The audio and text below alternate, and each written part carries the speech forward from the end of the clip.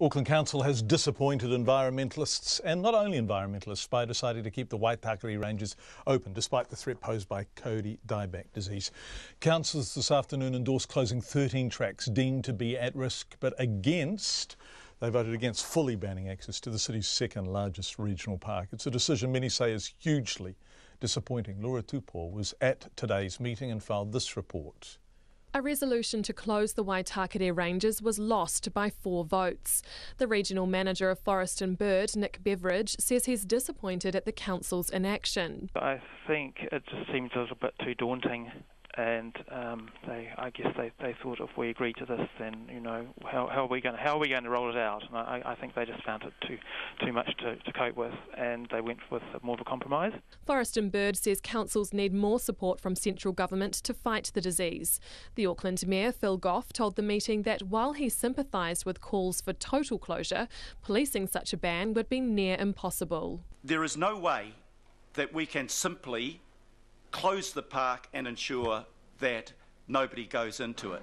Uh, unless you were to put an electric fence or a, or a razor wire fence around the park, which is absolutely impossible, uh, you won't be able to stop people who want to go into the park doing so. Councillor Ross Clow, who is the only councillor to live in the Ranges, agreed and said the rahui that was put in place by local iwi on Sunday was the best option. I respect the rahui that's been put in place by in place by Te Maki, and uh, I will say it works. I've observed that uh, Kare Kare, the, the rahui there, has actually led to a regeneration of the shellfish and by and large, most people seem to respect it. Penny Hulse said even though the Rahui doesn't have any legal teeth, the council will support it. We're going to encourage people to stay out of the ranges. Think about walking on a beach or somewhere else. Stay away from Kauri. Councillor Cathy Casey, who voted for total closure, said the council had an obligation to respect Maori wishes to close the park.